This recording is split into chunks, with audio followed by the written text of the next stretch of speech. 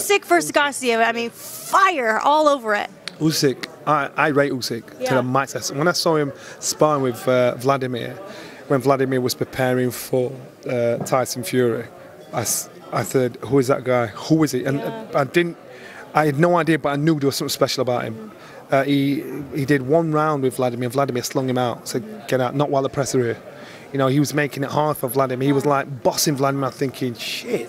That's a boo. You've met this guy spar with you in public while the press are here. Vladimir, get him out, get somebody else in. I followed his career. I'm a massive fan of his. I think he's the one guy that will unify the cruiserweight division. Uh, I think he's one guy that can move up to heavyweight, win a world heavyweight title, um, and he's still nowhere near the finished article. He's still learning. He's still he's still a pup.